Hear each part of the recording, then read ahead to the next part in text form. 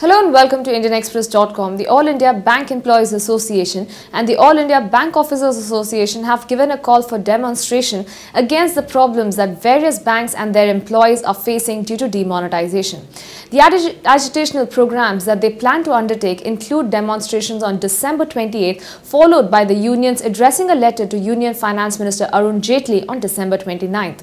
The union members also plan to demonstrate over the issue on January 2nd and 3rd, 2017. The unions have demanded to ensure supply of adequate cash to all the banks and the branches, restore all ATMs without further delay, and ensure transparency in the cash supply to banks. They have also demanded CBI inquiry into the cases of seizure of huge number of money and the new currency notes with some big persons when the bank branches are cash starved. For more news and updates, log on to IndianExpress.com.